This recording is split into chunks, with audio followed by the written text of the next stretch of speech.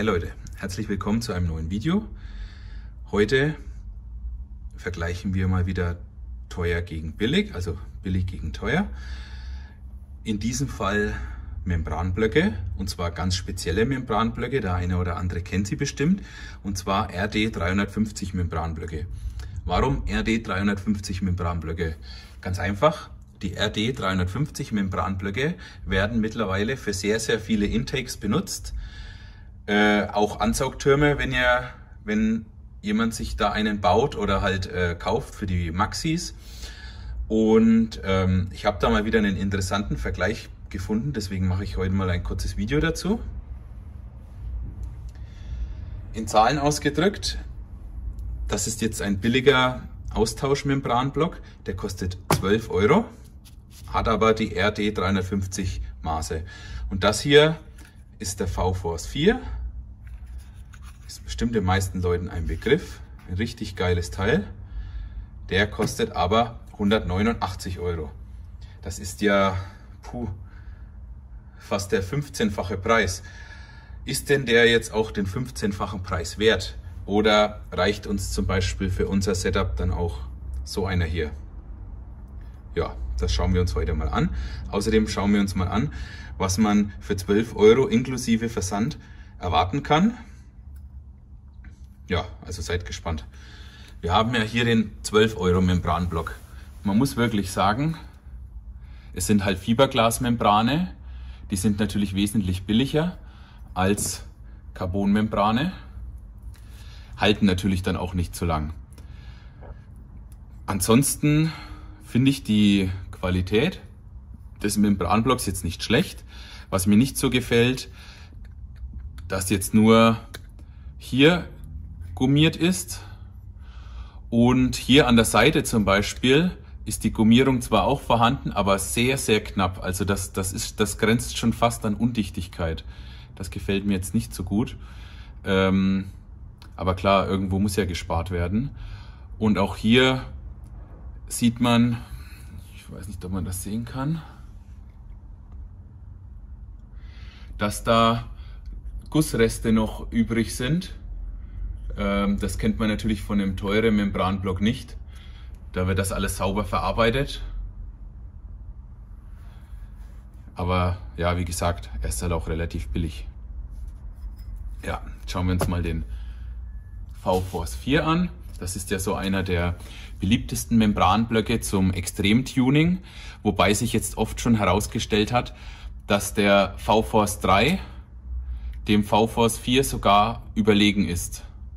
Kosten beide in etwa gleich, also wer wirklich da richtig krasse Setups fahren will mit hohen Drehzahlen, also auf 70 Kubik oder bis 100 Kubik, dann solltet ihr wahrscheinlich eher den V-Force 3 nehmen als den V-Force 4. Da haben jetzt viele Leute schon Tests dazu gemacht und bewiesen, dass der V-Force 3 mehr Leistung bringt als der V-Force 4.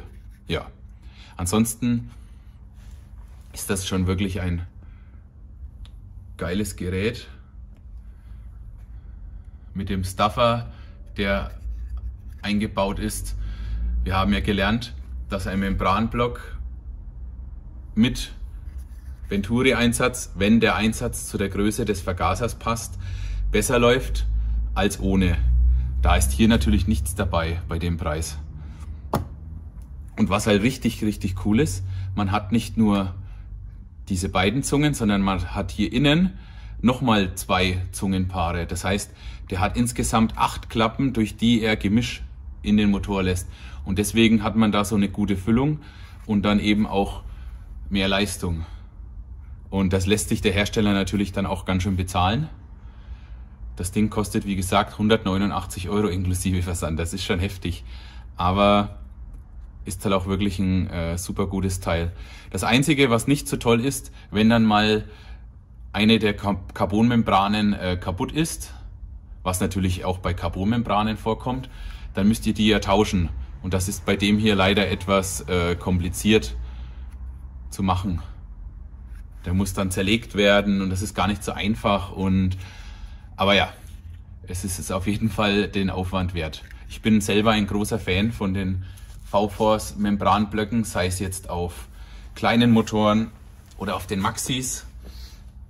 Da die so eine große Fangemeinde haben, sind äh, wahrscheinlich viele Leute auch meiner Meinung. Ja. Ansonsten ist der hier komplett aus Plastik, aber scheinbar wirklich sehr gut durchdacht mit lauter Verstärkungen und so weiter. Und da haben wir halt Aluminiumguss. Ist scheinbar sehr billig herzustellen dann so ein Teil. Äh, bisschen gummiert noch. Ja, das braucht der hier nicht.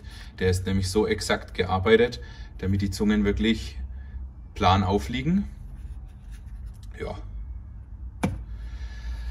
auch hierfür werden wir vielleicht mal einen Test für euch machen, indem wir mal einen Testmotor bauen oder so. Ja, wir wollen ja eigentlich auch mal selber ein eigenes Intake rausbringen mit VFOS äh, oder halt mit AM, also mit diesem RD350 Membranblock. Ähm, deswegen habe ich auch diese zwei Membranblöcke besorgt, weil wir das ja dann auch ausgiebig testen müssen. Und ja, schreibt doch einfach mal in die Kommentare, ob ihr schon Erfahrungen mit diesen Membranblöcken gemacht habt und was da eure Meinung so dazu ist. Und dann sage ich wie immer danke fürs Zuschauen, Leute. Ich hoffe, wir sehen uns im nächsten Video wieder und bis bald.